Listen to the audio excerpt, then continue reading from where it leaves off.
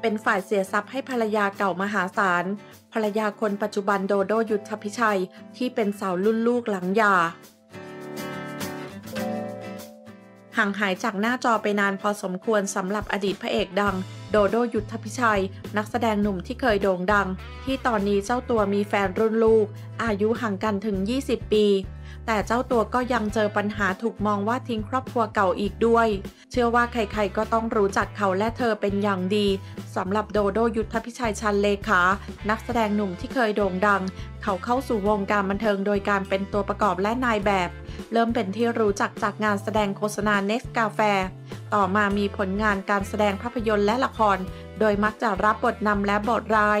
นอกจากนั้นยังเคยออกผลงานอัลบั้มเพลงชุดนายตัวดีในสังกัดแกมมี่ โดยด้านชีวิตส่วนตัวหลายคนคงไม่ทราบว่า โดโดยุทธพิชัยเคยแต่งงานกับลูกตาลจรินยาหานนรงค์อดีตรองนางสาวไทยปี 2532 มีลูกด้วยกัน 3 คน แต่ต่อมามีคดีฟ้องร้อง และทำให้เสียทรัพย์ต่อลูกตาลจรินยา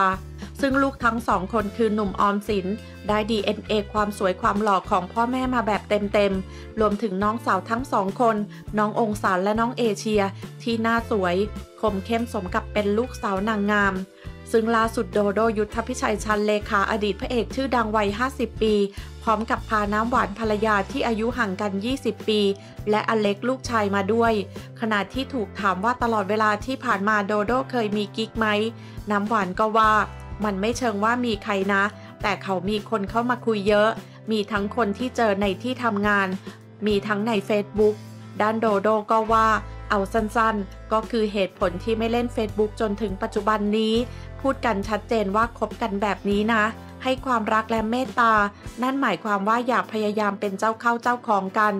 ถ้าวันไหนน้ำหวานเจอใครก็บอกกันดีๆ ไปจากกันได้ไม่มีปัญหา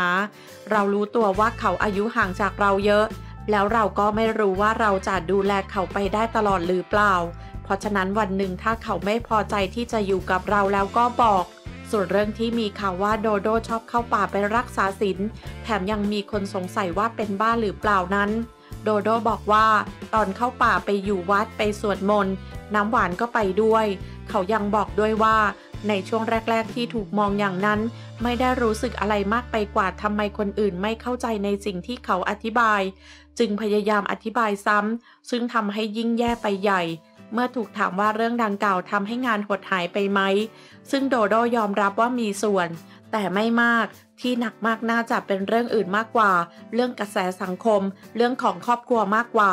ส่วนที่เคยมีข่าวว่าเขาเคยทิ้งครอบครัวเก่า โดโดบอกว่า ตอนแรกเขารับไม่ได้รู้สึกแย่ แต่สุดท้ายเริ่มเข้าใจแฟนๆ ที่รู้สึกแบบนั้น ว่าคงพอได้รับข้อมูลแบบนั้นมา